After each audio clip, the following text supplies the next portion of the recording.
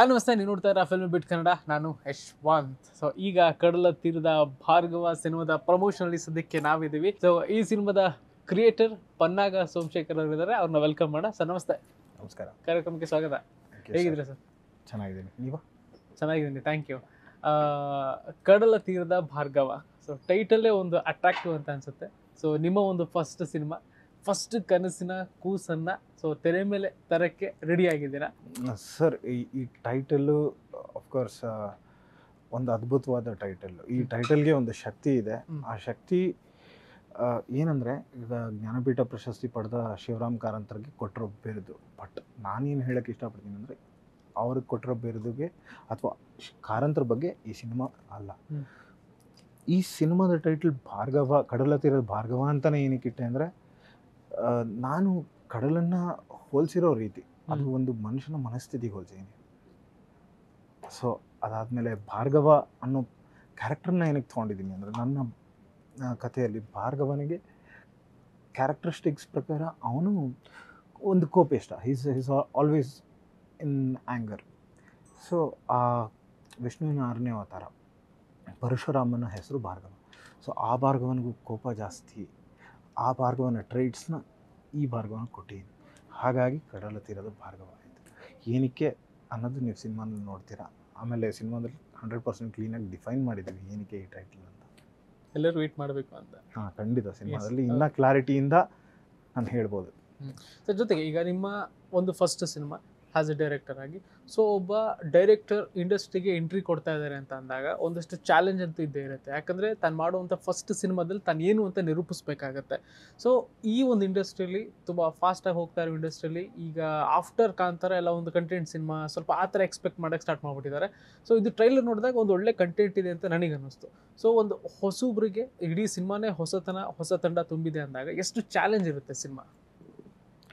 Sir actually ನನಗನ್ಸೋ ಥರ audience ಈ ನಡುವೆ ತುಂಬ ಯೋಚನೆ ಮಾಡಿ ಸಿನಿಮಾಗೆ ಬರ್ತಾ ಇದ್ದಾರೆ ಅವ್ರು ಹೊಸಬ್ರು ಆಮೇಲೆ ಸ್ಟಾರ್ಗಳು. ಆಫ್ಕೋರ್ಸ್ ಸ್ಟಾರ್ ಸ್ಟಾರ್ಗಳ ಸಿನಿಮಾ ಸ್ಕೇಲೇ ಬೇರೆ ಇರುತ್ತೆ. ಅವ್ರು ಮಾಡಿರೋ ಪ್ರಮೋಷನ್ಸು ಅವ್ರಿಗೆ ಸಿಗೋ ಥಿಯೇಟರ್ಸು ಅವ್ರ ರಿಲೀಸೇ ಡಿಫ್ರೆಂಟು. ಬಟ್ ಹೊಸಬ್ರು ಅಂತ ನೋಡೋದಕ್ಕಿಂತ ಜನಗಳು ಕಂಟೆಂಟ್ ನೋಡ್ಕೊಂಡು ಬರ್ತಾರೆ. ಆ ಕಂಟೆಂಟ್ ನಮ್ಮ ಸಿನಿಮಾದಲ್ಲಿದೆ. ಅದನ್ನು ನೋಡಿ ಬರ್ತಾರೆ ಅನ್ನೋ ನಂಬಿಕೆ ನನಗಿದೆ ನಾವು ಅದ್ರ ತಕ್ಕ ಮಟ್ಟಿಗೆ ಪ್ರಮೋಷನ್ ಕೂಡ ಮಾಡ್ತಾ ಇದ್ದೀವಿ ಸೊ ಈ ಸಿನಿಮಾನ ಏನಕ್ಕೆ ನೋಡಬೇಕು ಹೊಸಬ್ರು ಅಂದರೆ ಅಫ್ಕೋರ್ಸ್ ಈ ನಮ್ಮ ಸಿನಿಮಾನಲ್ಲಿ ಮಾಡಿರೋ ಕಂಟೆಂಟು ಪ್ರತಿಯೊಬ್ಬನಿಗೂ ರಿಲೇಟ್ ಆಗುತ್ತೆ. ಆದರೆ ನಾವು ತೋರಿಸಿರೋ ರೀತಿ ನಾನು ಆವಾಗಲೇ ಹೇಳ್ತಾ ಇದ್ದೆ ಒಂದು ಸಿನಿಮಾಗೆ ಒಂದು ಟ್ರೀಟ್ಮೆಂಟ್ ಮುಖ್ಯ.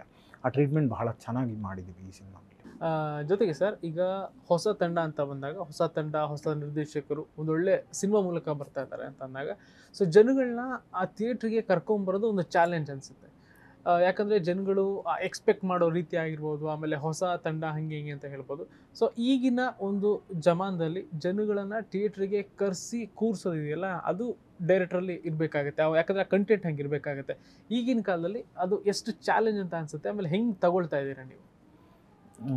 ಸಿ ನಾವು ಒಳ್ಳೆ ಕಂಟೆಂಟ್ ಮಾಡೋದು ಪ್ರತಿಯೊಬ್ಬ ನಿರ್ದೇಶಕನ ಕೆಲಸ ಆಗಿರಬೇಕು. See every film film maker's job is to make sure he doesn't make the audience a fool ಅಥವಾ ಅವ್ರು ನೋಡಿ ದುಡ್ಡು ದುಡ್ಡು ಕೊಟ್ಟು ಬಂದು ಪ್ರೇಕ್ಷಕರನ್ನ ಮೋಸ ಮಾಡಬಾರ್ದು ಅನ್ನೋ ಒಳ್ಳೆ ಉದ್ದೇಶದಲ್ಲೇ ಎಲ್ಲರೂ ಸಿನಿಮಾ ಮಾಡ್ತಾರೆ.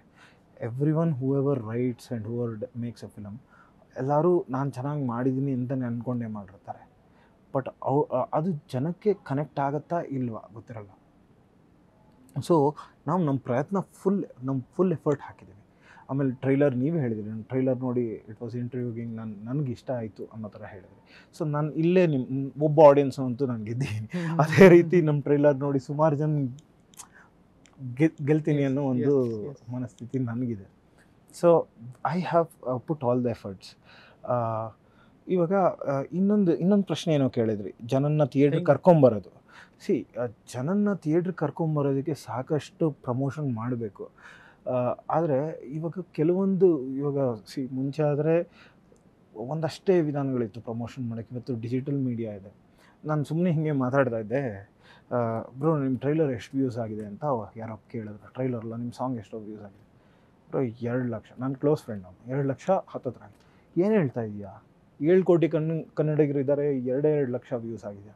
ಸಿ ಅಷ್ಟೇ ರೀಚ್ ಹೋಗೋದು.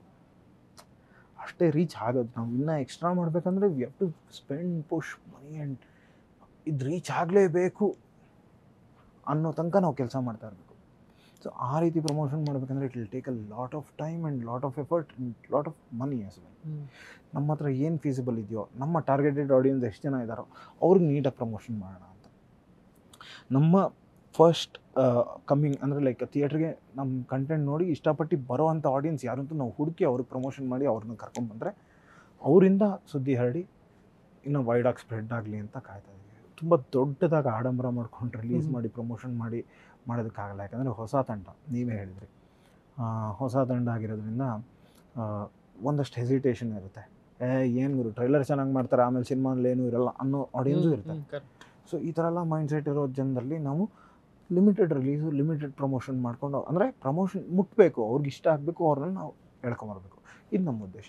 ಅವ್ರನ್ನ ಕರ್ಕೊಂಬಂದು ಸಿನಿಮಾ ತೋರಿಸಿದ್ರೆ ಸಿನಿಮಾ ನೋಡಿದಾಗ ಒಂದು ಸ್ವಲ್ಪ ಅವರಿಂದ ಸ್ಪ್ರೆಡ್ ಆದರೆ ಅಫ್ಕೋರ್ಸ್ ಲಾರ್ಜರ್ ಆಡಿಯನ್ಸಿಗೆ ಹೋಗುತ್ತೆ. ಎಷ್ಟೊಂದು ಜನ ಇವಾಗ they stopped going to theatres ದೊಡ್ಡ ಸಿನಿಮಾ, ದೊಡ್ಡ ಟಾಕ್ ಆಸಾಕ ಖಂಡಿತ ಹೋಗ್ತಾರಿಲ್ಲ ಅಂತಲ್ಲ.